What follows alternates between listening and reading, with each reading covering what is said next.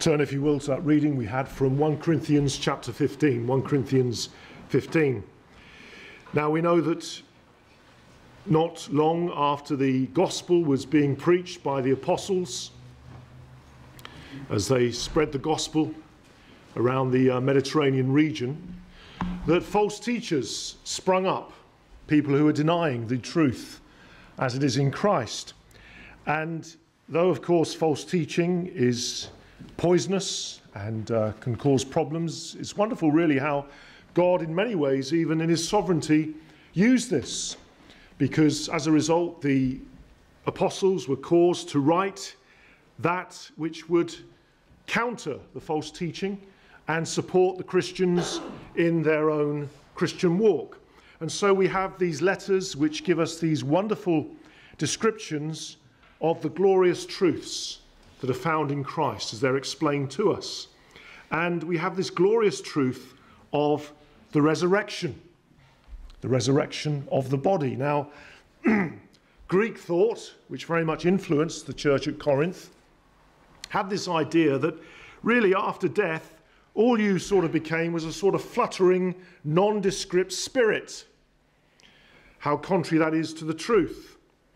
Paul has been using various arguments in this chapter we're looking at to show the truth of the resurrection. And he says, What is at the heart of the gospel? What is at the heart of the message that we proclaim to men and women who are in their sins and perishing? Well, it is the death and the resurrection of Jesus Christ. Without that, we've got no message. Because the resurrection tells us, you see, that his work is successful, it's complete. He died on behalf of sinners, and God has accepted that work. He has triumphed. Nothing has been left undone that needed to be done, and He's risen from the dead to show the greatness of His victory and God's approval of all that His Son has done. And yet it's clear that there were those in Corinth who were scoffing at this thought of the bodily resurrection of the believer. And they were saying things like this you know, when we die, when we die, our bodies, they, they decay or they're burnt or they're lost at sea and they dissolve in the waters. How can it be that they can ever be raised again? How can men and women possibly rise when their body is completely disintegrated? What form will the resurrection body take? These are questions that folks sometimes can raise today, and in some ways, you see, it's such an amazing thing, isn't it? Uh, the resurrection of the body, when we think about it, uh, perhaps we can think, well, what would it be like to be raised, having been buried, having died, to be raised on that day? Paul's aim is to really, in this passage we're going to look at, we're going to look at the passage that we read, he's really wanting to answer two questions. And the first question really is this in the light of what has happened to the bodies of the dead, how is it that the bodies of believers, dead believers, can be raised up? And his second question is, what will the body be like? That body that we're given on the last day. And then he actually goes on and he answers a third question. And then he applies it. So we're going to follow Paul's way of dealing with these questions here. It's not that we're having a message on the resurrection a week early. Uh, it's uh, the fact we're still following the series in the great works of God, the great works of God, and it, we've got to the resurrection of the dead. The resurrection of the dead. What power God will show. What a great work it will be when He raises His people from the dead. And so we've got four points tonight the great works of God, the resurrection of the dead. Our first point is how can the dead be raised? Secondly, with what body will they come? Thirdly, what will happen to those who are still living when Christ comes? And fourthly, what our response should be. So, really, we're just following the way that Paul outlines his argument, his uh, passage here in the Word of God. Firstly, how can the dead be raised? Paul, how can something which has been burnt perhaps to death, and becomes gas and ash or decays, how can that be raised back to life? Are you saying, Paul, that from dust and nothingness a body can be made? Yes, says Paul. Verse 35 But someone will say, How are the dead raised, and with what body do they come? Foolish one. What you sow is not made alive unless it dies.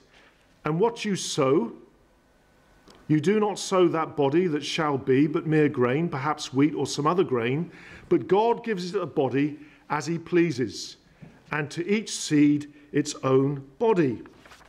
Paul says, don't you look at, if you look at nature, you'll see there are these things which they must suffer corruption. They must go into the ground. They must decay before they can produce something far more, more wonderful.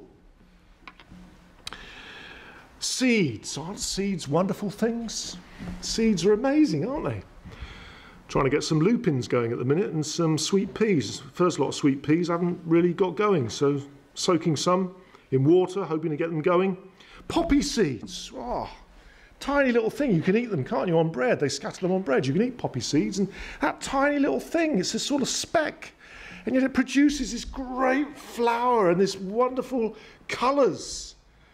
Amazing, isn't it? You plant it and it decays and yet it becomes something glorious. And what the thing is, the seed in no way compares to the glorious thing it becomes. That tiny little speck becomes this great plant with all these leaves that are doing all they need to do to photosynthesize, and these wonderful flowers that open, and all the insects go in.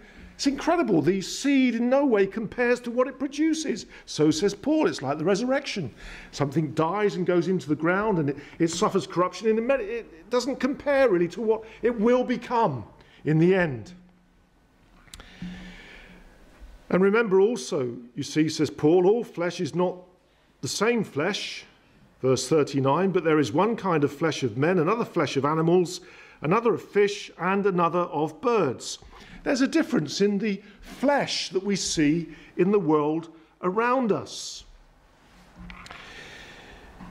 There's this tremendous difference in forms. There's this variation, even in the quality of the flesh we see here. So, why should we think that our bodies should always be limited to their current existence as they are now, when even in this life, God is able to give all these different things, all these varying forms that we see around us? Can I just mention the uh, butterfly at this point? The butterfly. If you ever see a caterpillar, you know, it's a sort of grub, little grub that's moving along. A caterpillar, we know what a caterpillar is. You ever get one on you, sort of, what's that? It's sort of strange thing going along you, uh, along your finger. You compare that with the butterfly. It's incredible, isn't it? This sort of green, slimy thing compared to this beautiful butterfly. What has to happen to get from there to there? Well, it has to go into this chrysalis stage where it sort of eventually decides it's going to hang off a branch or something like that, and it sort of turns into this hard uh, sort of uh, shell. And then within that shell, it dissolves. It completely dissolves. And then all the proteins and the things are all rearranged. Now pops this, this wonderful butterfly. And you know, the butterfly has got a proboscis, so it's just the right length to go down into the flower to get the nectar. It's got antennae, I think, and uh, it's got these beautiful wings, beautiful colours. And the colours aren't made by uh, dyes, they're made by interference effects. So certain cells have to be certain layers of thickness to give the sort of interaction so that the colours reflect in a certain way. It's incredible. From that grub to that through this phase where it turns into liquid. Now, that can't happen by trial and error. It was no good one grub saying one day, Oh, I'll try and become a butterfly and let's see what happens. And I'll somehow become a chrysalis and I'll try and rearrange myself. Can't happen by trial and error. It must have been something that was made complete and perfect as it is. It's one of many thousands of things which show us that evolution is a farce, evolution is nonsense. These things are created by this God who's able to take something like that and make it into something beautiful. The power of God, even in a butterfly, is declared to us. Anyway, I've got away from the beaten track there, but uh, it's wonderful, wonderful, these things. There are differences, says Paul, in the world of cosmology. celestial bodies and terrestrial bodies. He says, verse 40. He says, There are also celestial bodies and terrestrial bodies, but the glory of the celestial is one, the glory of the terrestrial is another.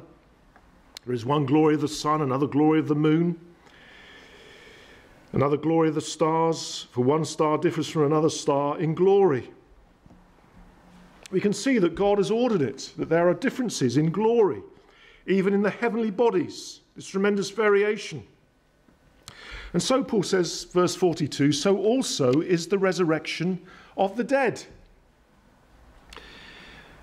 The resurrection shouldn't, shouldn't seem fantastic, says Paul. Because, you know, the fact that there's this marvel of things going into the ground and dying and then becoming something completely, vastly different to what they were.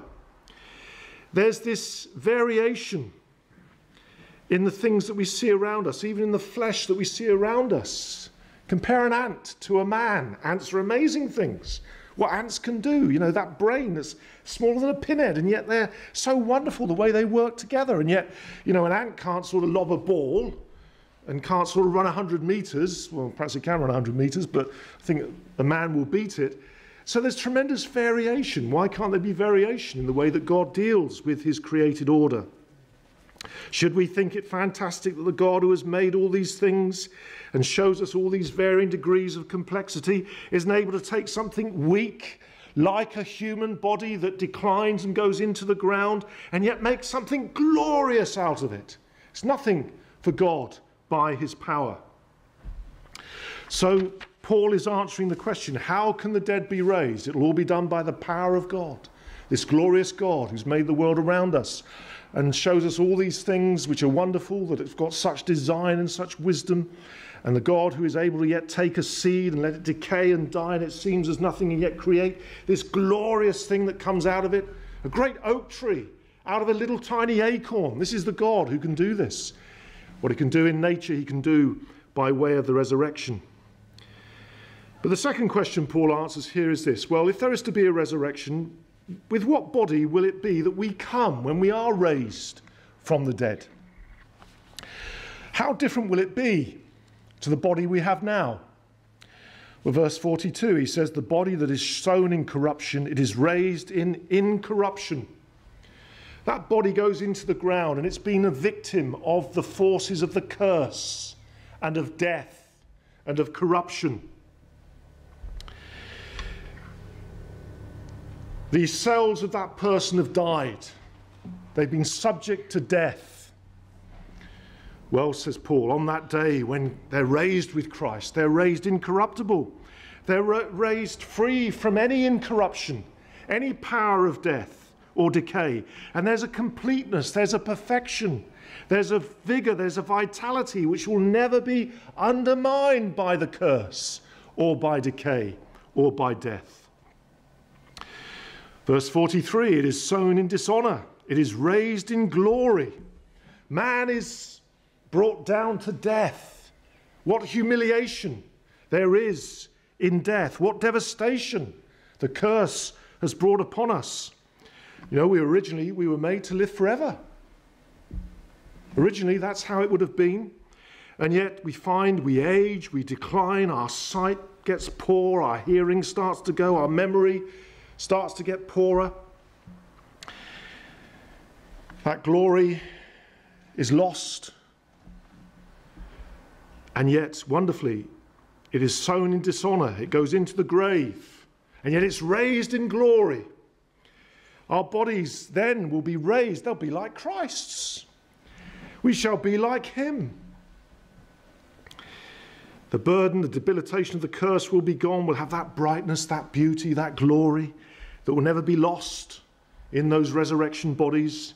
Verse 43 again, it's sown in weakness, it's raised in power. How frail we get, how weak we get as we go on into old age, don't we? We have eyes that see and yet do not see. Uh, we have ears that hear and yet then don't hear. Legs and arms that were strong and firm, then they're weak and they're poor. But then, it is raised in power. We will have eyes that will never tire, ears that will always hear, bodies whose strength will never be diminished by pain or by disease. There won't be glasses in heaven, won't be pacemakers in heaven, won't be false teeth in heaven, false knees, false hips, all gone. This glorious body which God will give to us. Verse 44 it is sown a natural body, it is raised a spiritual body. It's an amazing thing with Christ. They could touch him, he could eat, yet he could pass through walls. There was somehow this ability. He was in the physical realm, but also in the spiritual. That's how it will be. Our bodies will have a spiritual power and quality to them. It'll be a body which can move and present itself in the spiritual dimension as well as in the physical. Do you know, it would have been enough, wouldn't it? If God had just given us our old bodies back, if He'd given us our old bodies back when we were about, what, 30, 35, something like that? If He'd given us our old bodies back then, uh, free from sin and the curse and corruption, if He'd just done that, that would have been enough. But no, He'll give us this more glorious resurrection body that's made like Christ's, one which can enable us to enjoy God in all His fullness. Our marvelous resurrection bodies. Verse 45 And so it is written, the first man, Adam, became a living being, the last man, Adam, a life giving spirit. You see, Adam, as head of the physical race, has given life to all his offspring. So Christ, who is the last Adam, as head of his people, he gives them spiritual life. He gives them this spiritual life. Adam's descendants are related to him genetically, Christ's descendants are related to him by faith. Where it says there that Christ has become the life giving Spirit, doesn't mean to say that he's, he's confusing him with the Holy Spirit. But Paul means that Christ is a spiritual being and head who will give a greater and more wonderful resurrection life than Adam ever could. He gives life in a new dimension and in a new way. Verse 46 however, the spiritual is not first but the natural, and afterward the spiritual. There's an order. We've got to have this physical existence before we can enjoy this greater spiritual existence, yet, yet nonetheless, this great change will occur. Verse 47 The first man was of the earth made of the dust. The second man is the Lord of heaven. The first Adam owes his existence to God, the first Adam, but the last Adam owes his existence to no one but himself. He is the Lord from heaven. Verse 48 As was the man of dust, so also are those who are made of the dust. And as is the heavenly man, so also are those who are heavenly. And as we have borne the image of the man of dust, we shall also bear the image of the heavenly man. We bear Adam's constitution here. We're made like our first father, and we share his destiny to die and return to the dust. And yet, if we know the new birth here in this life, if we know Christ, we'll know and share his image and his likeness. We'll be made like him. It's astounding, isn't it? When we read this, astounding what we read God is going to do for his people to raise us from the dead, to make us like Christ, to make us in the way that is described here. It's astounding, and yet it is true. It is true. And you know, every believer knows that it's true. Why? John 6:39 This is the will of the Father who sent me that all of all he has given me I should lose nothing but should raise it up at the last day and this is the will of him who sent me that everyone who sees the Son and believes in him may have everlasting life and I will raise him up at the last day. It's because, you see, we've already been raised. If you're a believer, you've already been raised. You've already known the resurrection of power of Christ in your life. Because he's made you what you would never be left to yourself. He's changed you. He's come into your life. He's given you life when you were dead in trespasses and sins. How do we explain what we are? Why is it that we know Christ, we know God, we, we love Christ, we love the Word of God. It's not because we're trying to sort of convince ourselves or somehow work our way into God's good books or try and sort of just keep up a religion. It's because we've come to know the power of God in our lives. It's changed us. It's brought us to God. It's given us peace with God. The resurrection power of God has worked in our hearts. We, if you like, have known this first resurrection, this spiritual resurrection. And so we know there will be the greater resurrection that will come in God's good time. But then Paul anticipates another question. Thirdly, what happens to those who are living? What about those who've not died, who've not gone into the grave, who are still living when Christ comes again, appears on the clouds of heaven?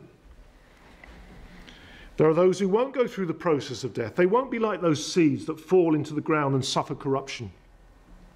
Verse 50 Now, this I say, brethren, that flesh and blood cannot inherit the kingdom of God, nor does corruption inherit incorruption. Paul is saying this. As flesh and blood in our fallen human natures, we cannot just walk into heaven and live in heaven as, as we are. So, what's got to happen? Verse 51 Behold, I tell you a mystery. We shall not all sleep, but we shall all be changed. Paul speaks about this mystery, something which has always been true, but now has been fully revealed by his preaching. What is it? We shall not all sleep. This really means there that we shall not all die and close our eyes in death. There are some who shall be changed. How long will that change take? In a moment, verse 52. In an atomos, an atomos, the smallest instant of time, in the twinkling of an eye, with a wink of an eye, there'll be this change. At the last trumpet, for the trumpet will sound, and the dead will be raised incorruptible, and we shall be changed. This trumpet will announce this great change. It won't be a secret thing, you see, this change. All will hear it. It'll be a day of rejoicing, a day of triumph for the people of God. Verse 53 For this corruptible must put on incorruption, and this mortal shall put on immortality. It must happen. It must. This corruptible must put on incorruption, and this mortal must put on immortality. It will happen. It is God's determined purpose, it is God's will for his people who know the Lord Jesus Christ that they will be raised, and those who are living will be changed to be made like Christ also. What will happen when this great and glorious change will, will come has come? Verse 54 So then, when this corrupt, corruptible is put on incorruption, and this mortal is put on immortality, then shall be brought to pass the saying that is written Death is swallowed up in victory. Death will be swallowed up by the victory of Christ. Everything that God has planned and announced will happen. The complete destruction of death, this great enemy. Verse 55 O death, where is your sting? O Hades, where is your victory? On that day, people will say, well, Where is the power of death now? Where is the power of death? It's lost all its power, and the grave has lost its power. They have no victory. It's been taken from them, the victory they thought they once had. The sting of death is sin, and the strength of sin is the law, but thanks be to God who gives us the victory through our Lord Jesus Christ. Death, you see, gets its power from sin. It's sin that produces death. Death is not really a physical problem, it's a moral problem. It's because we're sinners that we die. Where does sin get its strength from? It gets it from the law, our breaking of God's law. God says, Do this, and, and we don't do it. We can't do it. We don't want to do it. And this victory we have is given to us. We don't earn it, it's one that only Christ can give to us. It's all through the work of Jesus Christ. So, Paul shows us the fact of the reality of the resurrection of the body, this great work of God whereby we shall be raised to be made like Christ. He explains to us what that body is going to be like not some sort of ethereal spirit drifting around for eternity. No, body and soul made like Christ, incorruptible, a body of power. He shows what will happen to those who are still living. They'll be changed also to be made in the same way. Well, fourthly, Paul doesn't just leave us there. He then applies it. Fourthly, what our response should be. What our response should be to this teaching. Well, you know, if you're a child of God, this is your certain destiny. This is the destiny that lies before you if you're a child of God. The God who cannot lie, the God who's given his word, which has proven true over and over and over again assures us that on that day he will raise us and he will make us all new. Not as we were, but far, far, far more glorious. We can have no idea of the exhilarating sense of well being and joy that will flow through our veins, our nerves, and minds because our souls are perfect, our bodies are perfect, We've been made glorious and we're in the perfect realm with the perfect one, the Lord Jesus. Do you know angels cause men to tremble when they appear to them because they're such glorious beings? Yet, you know, our glory will exceed theirs. Will exceed theirs, will be made more glorious than the angels. He will make the feeblest and filthiest of us a dazzling, radiant, immortal creature pulsating with this energy, this joy, this wisdom, and this love. We're going to need changed bodies to cope with dwelling in that realm of such joy and such love, being with God, being in the place where only that which is holy can enter in. What should our response be to these things? We should marvel. This is our destiny. This is our destiny. We bless God. We thank Him. Oh, you see, it starts to put everything in perspective now. We start to understand more why it is that we should have hope even in the deepest of trials and the greatest of difficulties. The suffering of the present time is not worthy to be compared with the glory which shall be revealed in us the compensation we will know when we are made like Christ. So we look on our sufferings here as a light thing. That light affliction is working in us a far more exceeding and eternal weight of glory. Starts to put things in perspective when we appreciate what we're going to receive, what our destiny will be. Starts to make us realize how really what we go through in this life is in many ways, though it's not hard, it's not easy, but in many ways it's, it's a small thing compared to what God will yet compensate us with and reward us with. But nonetheless, this certain destiny that we have should affect our lives now. How should it affect us, Paul? How should it affect our lives? This certain destiny which is ours. Verse 58 Therefore, my beloved brethren, be steadfast immovable, always abounding in the work of the Lord, knowing that your labour is not in vain in the Lord. Is a bride to be. She's going to marry. She's going to leave home to go to be and live with her husband. As she's preparing for a marriage, she doesn't think, well, you know, what colour would I like the bedroom to be that I'm soon to vacate? She's not worried about that, is she? She's leaving it all behind. She's looking to go somewhere else. She now lives and acts with a view to a future. So, so should we. We're going to stand with Christ as the most glorious, most exalted being, righteous like him, utterly triumphant over death, over sin and hell. If that's the case, whatever we do here must be done with that certainty and that thought in mind as to where we're going and as to what we will be. One day I shall share this glorious destiny with Christ. What is consistent with that day? What will remain? Is only that which is consistent with that day, really. And I should be going after those things. I should be steadfast, immovable, always abounding in the work of the Lord, knowing my labour is not in vain in the Lord. Don't follow the world. Don't follow the passing ways of this world. Be steadfast. Don't go after what the world sets its heart on. Do not allow this truth to be denied or forgotten. Be immovable.